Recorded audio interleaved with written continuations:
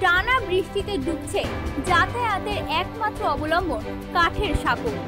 যাতায়াতের একমাত্র অবলম্বন কাঠের সাঁকোগুলি ডুবে আছে টানা বৃষ্টিতে তাই খরস্রোতা নদীতে ডুবে যাওয়া কাঠের সাঁকোর উপর দিয়ে জীবনের ঝুঁকি নিয়ে যাতায়াত করতে হচ্ছে প্রায় কুড়ি পঁচিশটি গ্রামের মানুষকে।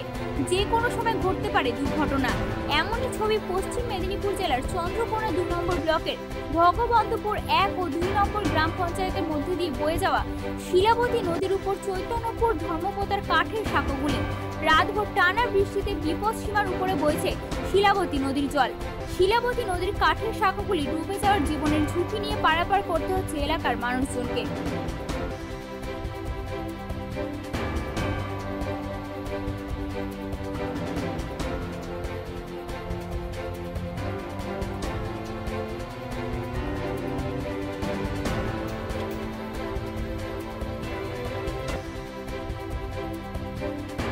এত ঝুঁকি নিয়ে যাতায়াত করছেন কেন? ঝুঁকি নিয়ে না গেলে আমাদের মাঠঘাট সবজি বাজার হসপিটাল সবই তো এই রাস্তার উপর দিয়ে যাতায়াত। ধরুন তার কোনো মানে ব্যক্তি কোনো অসুবিধা হয় এই মুহূর্তে তো আমাদেরকে এদের উপর দিকেই নিয়ে যেতে হবে রিক্সার উপরে যেতে হবে।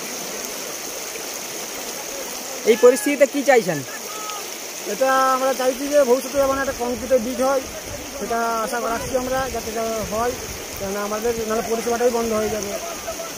আমাদের বাজার হাট বা হসপিটাল স্কুল ছেলেমেয়েরা স্কুল যেতে পারবে না সব কিছুই বন্ধ হয়ে যাবে। কতগুলো গ্রামের মানুষ এই ব্রিজের উপর নির্ভরশীল? প্রায় দেড় দু হাজার মানুষ এই ব্রিজটার উপর দিকে যাতায়াত করে পাশাপাশি দু তিনটা গ্রাম। আপনার নাম? আমার নাম অরূপ মণ্ডল।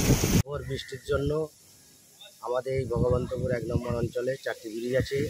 সেই ব্রিজের উপর দিকে জল বইছে, মানুষের পারাপাড়ার খুবই অসুবিধা। যাই হোক, যে পরিস্থিতি, বিপদ সীমার উপর দিকেই জল বইছে তাতে বন্যা হওয়ার বেশিরভাগ আশঙ্কা রয়েছে।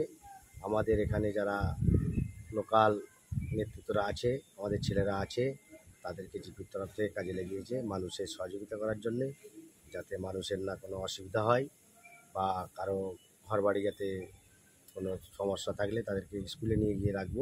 বন্যা হয়ে গেলে সেরকমভাবে আমাদের ছেলেদেরকে কাজে লাগানো হবে নাম? ইকবাল সরকার।